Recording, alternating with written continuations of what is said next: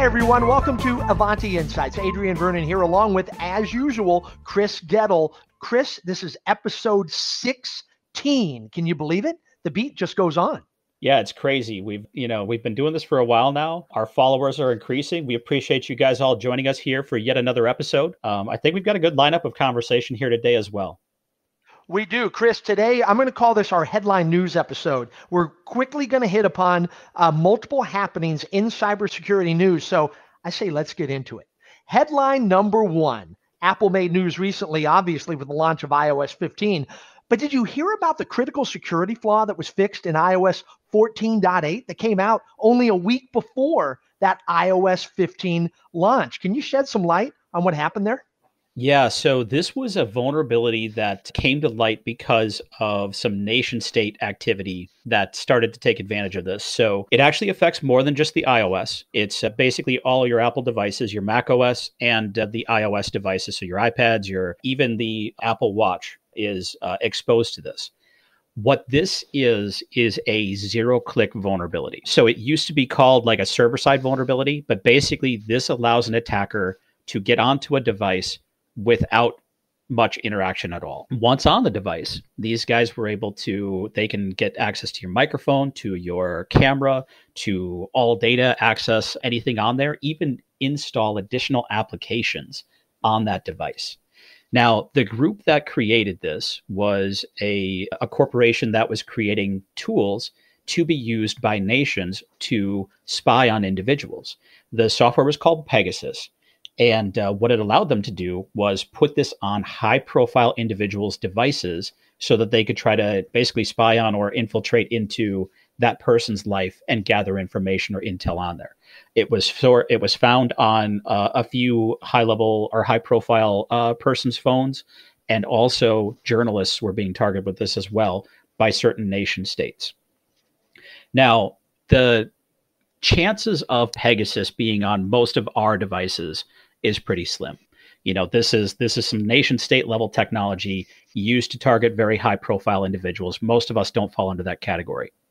The part that is concerning about this is now that this has been exposed, what you know what happens next is this opening in the Apple uh, software allows other threat actors to now take advantage of it. So typically, when uh, nation states are at play, the tools that they're using slowly start to get exposed more and more out to the market. You know, we had some very notable NSA tools get exposed to the market, which led to WannaCry, NotPetya, and other eternal blue family of vulnerabilities being used in a lot of different attacks.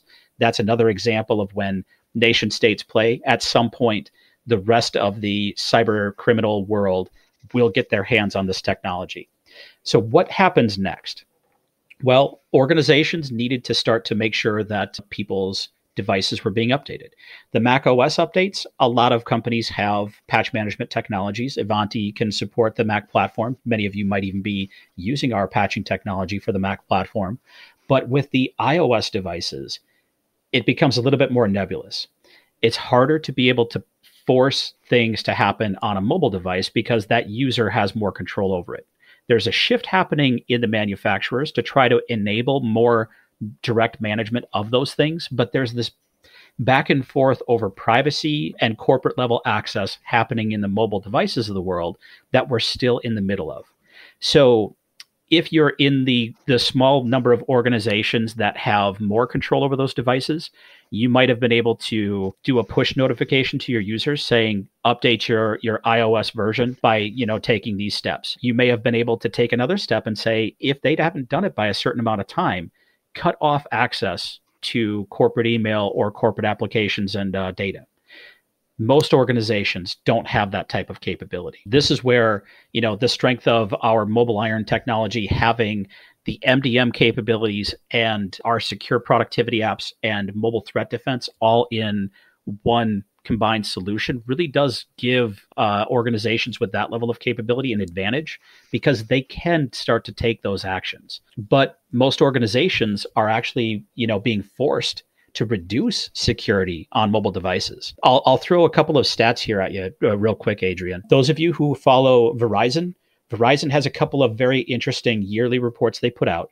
most notably the data breach investigations report. I've been following that one for years. They've also got a mobile security index report. Ivanti actually participated in contributing to that this year. We gave them some great statistics on emergence of QR codes and how those could be used to attack our users on mobile devices.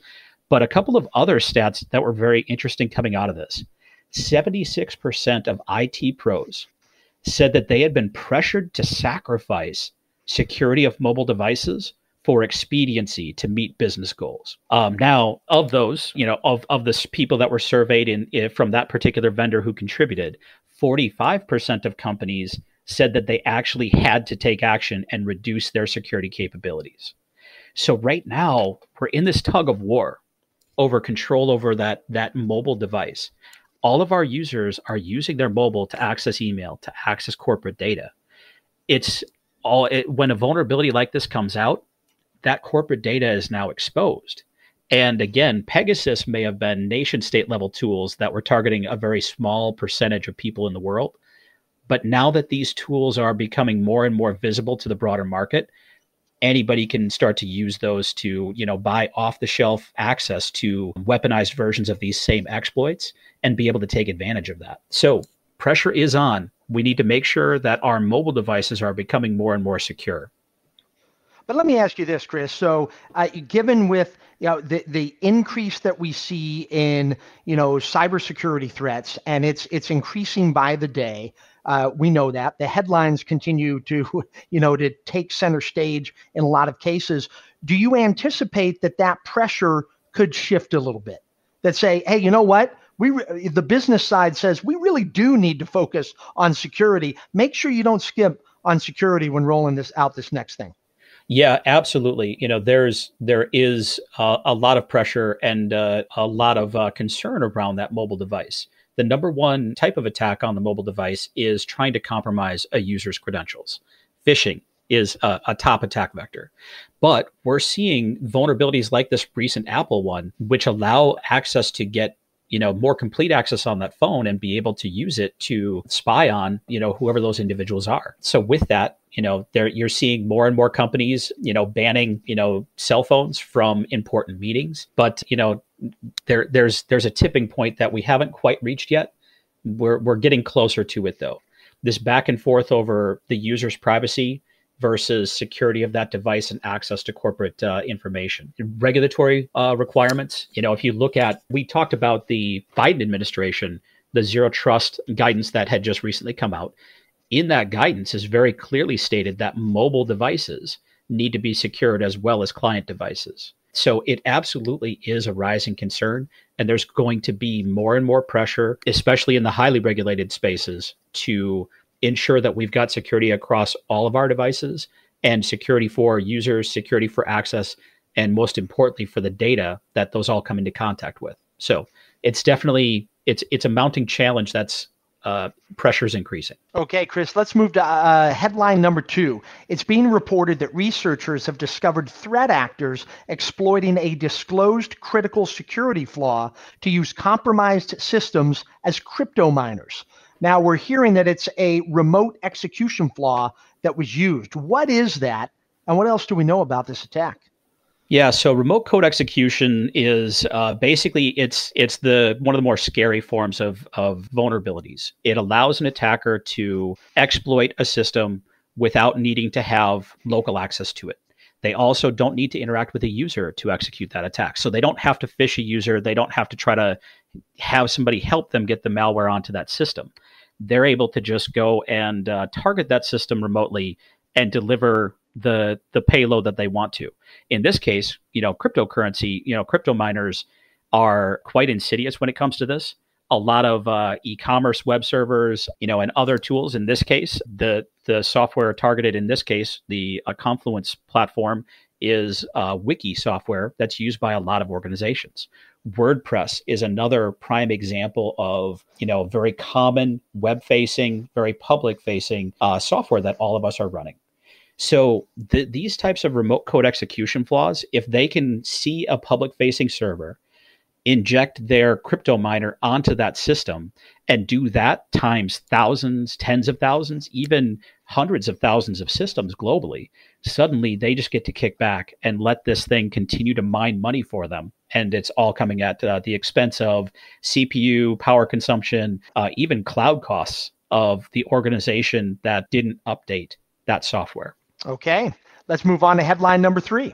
We all heard about the SolarWinds breach at the end of last year in December 2020, a major cyber attack suspected to have been committed by a group backed by the Russian government, and it penetrated thousands of organizations globally, including multiple parts of the US federal government, leading to a series of data breaches.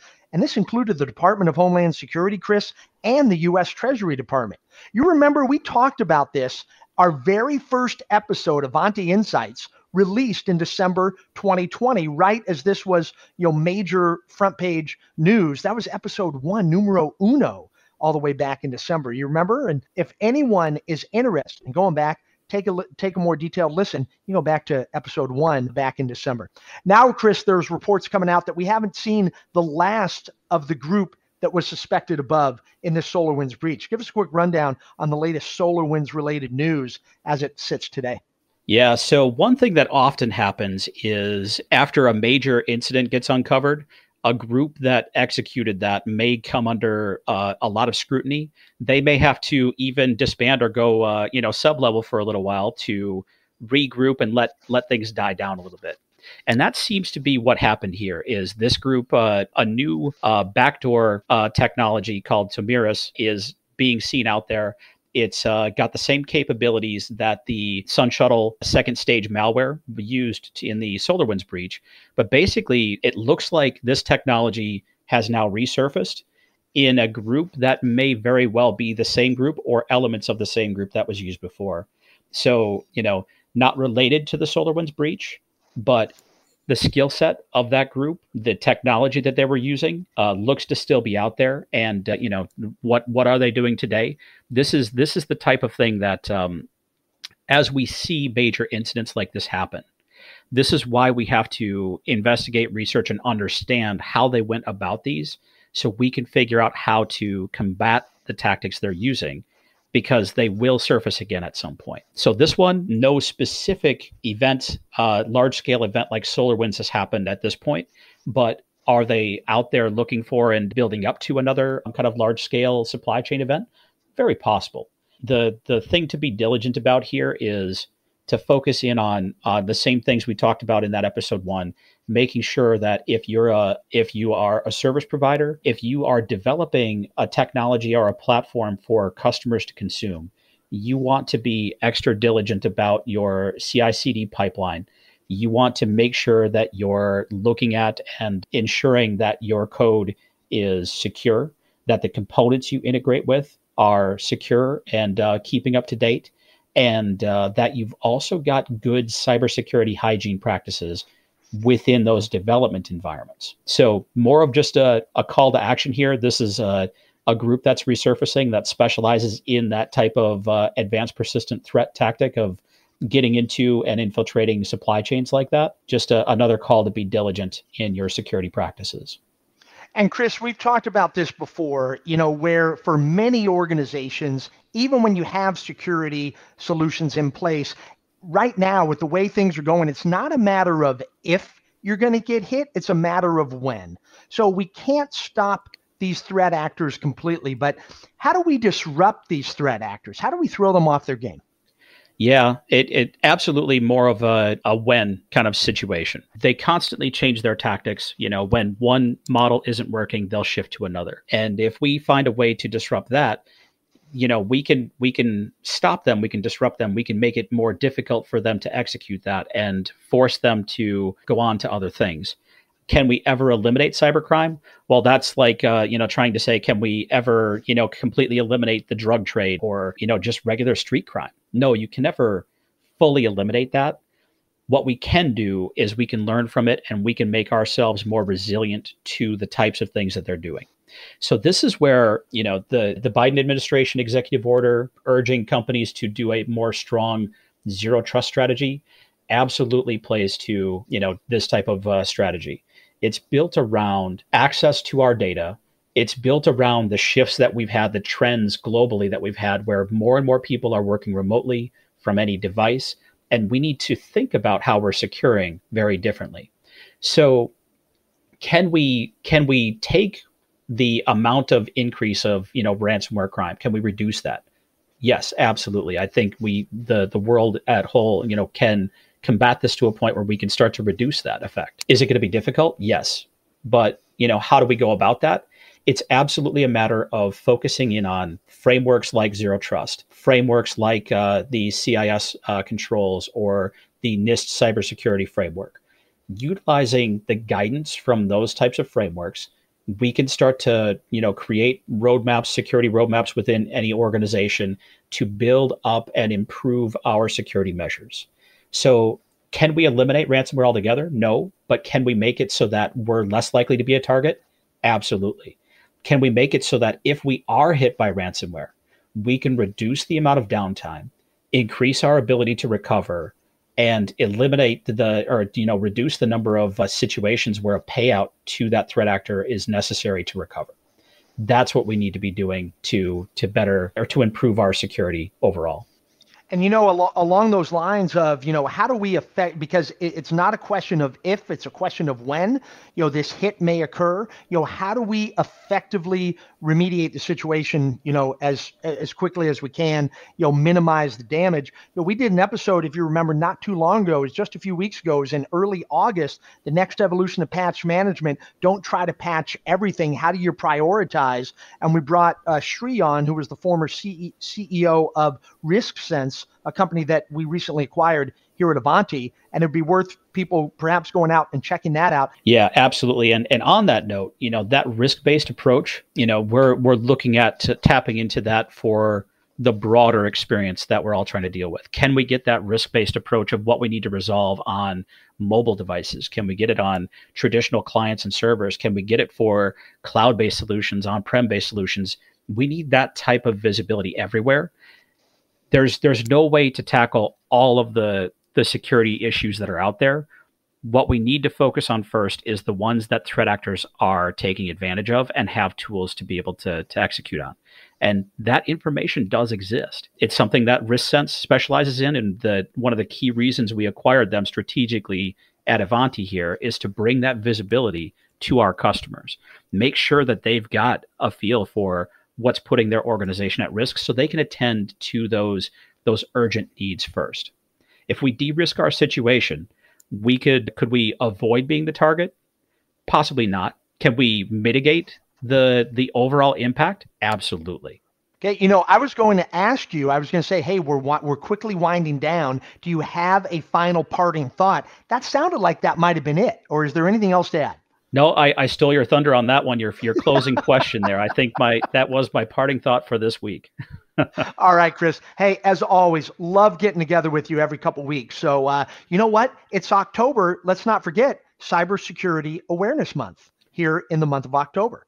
So, uh, anything to add about that? Uh, you know what? I'm gonna I'm gonna share one of my favorite personal security uh, tips. This one actually, uh, you know, a former colleague of mine uh, shared this tip with me a few years back but I report um, my credit card as damaged at least once a year to get it changed out. And the reason for that is, you know, you, you go and use your credit card everywhere and you never know when that card was captured in a credit card breach or a card skimmer or something else somewhere anywhere.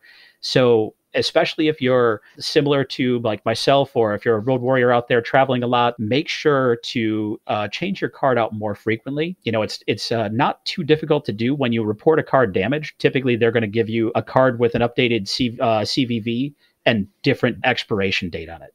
The number will stay the same but enough information changed where if anything was captured it's not going to make it very easy for them to try to guess at those other two elements to to use that credit card I actually just got back from vacation not too long ago.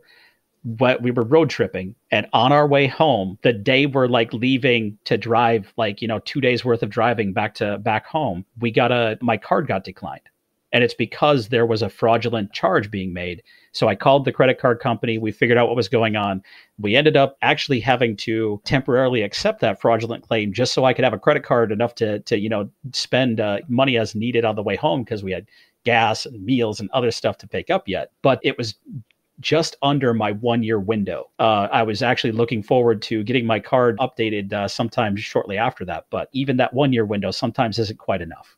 Okay, and, and when you talk about this one year window, do you coincide that with Cybersecurity Awareness Month? Like, does that say, oh, every October I better do this? Yep, actually, and uh, the reason the reason I brought it up and remembered that is uh, several years back we did a cybersecurity tips for road warriors kind of uh, blog post. We had like ten recommendations from some of our most uh, you know global travelers. Things like you can get little uh, uh, Wi-Fi hotspots when you travel to a hotel. You hook that up to their Wi-Fi and you connect through it and establish a VPN tunnel that completely separates you from the hotel Wi-Fi. Other things, tips like that, we shared that month. This was one of the tips that was shared in that in that case. So now I tend to do this around October every year. So, well, I'll tell you, Chris, I like that. And so, as we move into mid October in our next episode, and with it being smack in the middle of Cybersecurity Awareness Month, I think that's a great place. Perhaps I, you know, our producer Craig, he's listening in right now, and I, I can see his wheels turning in his brain, thinking maybe that could just be Chris and Daniel, you know, Security Tips Month, personal Security Tips Month, in and around that. So, I think we'll we'll dive into that a little bit more. That'd be a fun episode. All right, Chris, always, always a pleasure. We'll talk again in a couple weeks. Folks, thanks for listening. Until next time, stay safe, be secure, and keep smiling.